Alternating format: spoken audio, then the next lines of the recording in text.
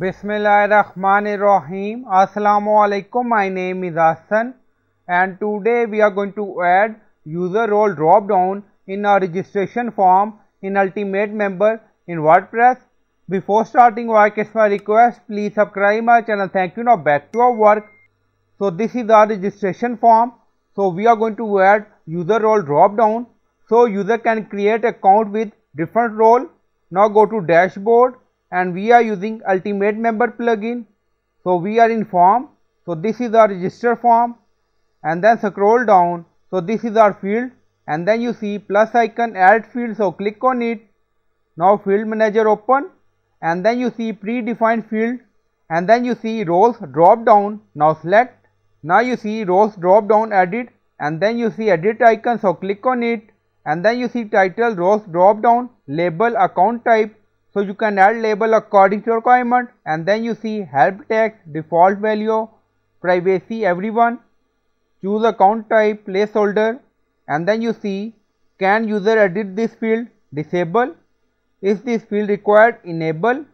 And then you see edit choices, you see two option subscriber grade 7 question mark enter one choice per line.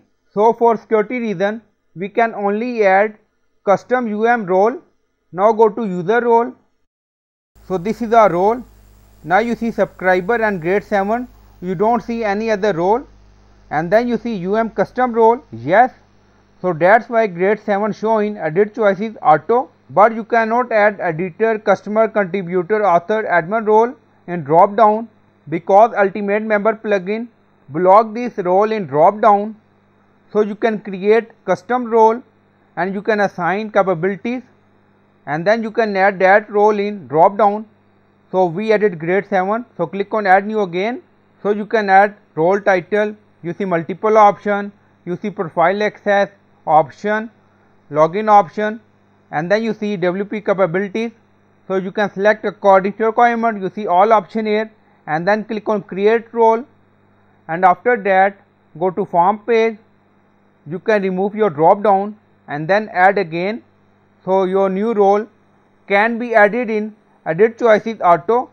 So, if you want you can remove that. So, it is up to you. So, you can add only UM custom role and then click on update.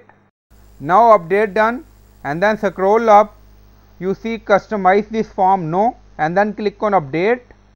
Now, form update done go to form page and refresh the page and then scroll down you see account type and then you see placeholder choose account type now select.